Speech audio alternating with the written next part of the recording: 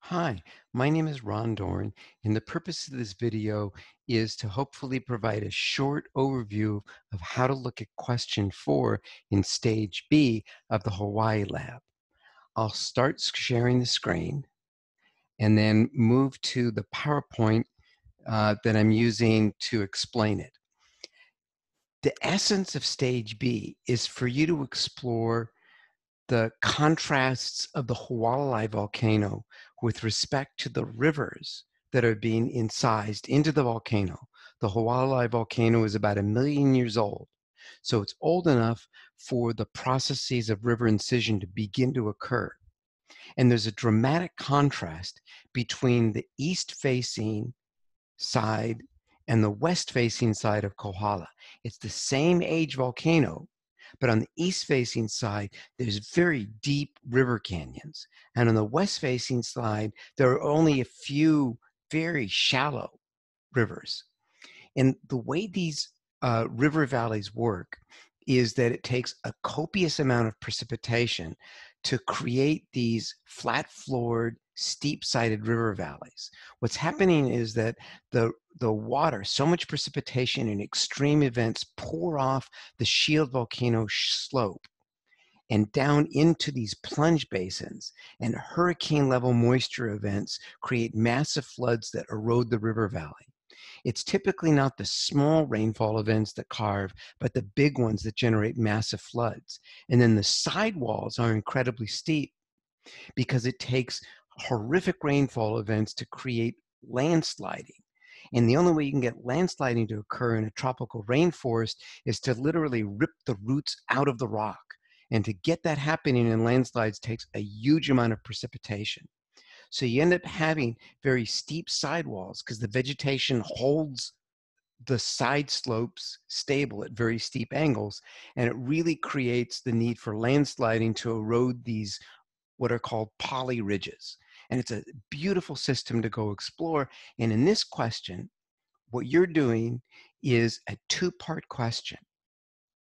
Part one is for you to look at the differences in the depth of the river valleys on these two different sides of the volcano, the east facing and the west facing. In particular, you're going to be looking at the Honokoa Gulch on the west facing side, the rain shadow side, and then the Honokane Nui Valley on the rainier east facing sides.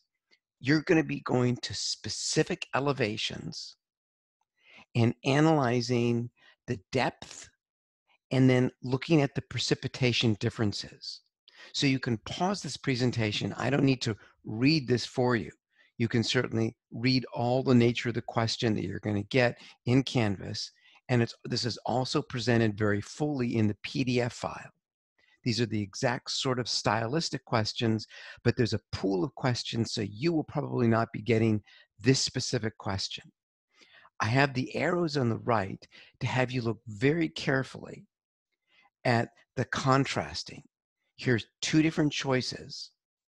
Notice that one choice has you look at depths that are the difference between 600 millimeters of precipitation and 3,700 millimeters of precipitation and 650 meters and 560 meters.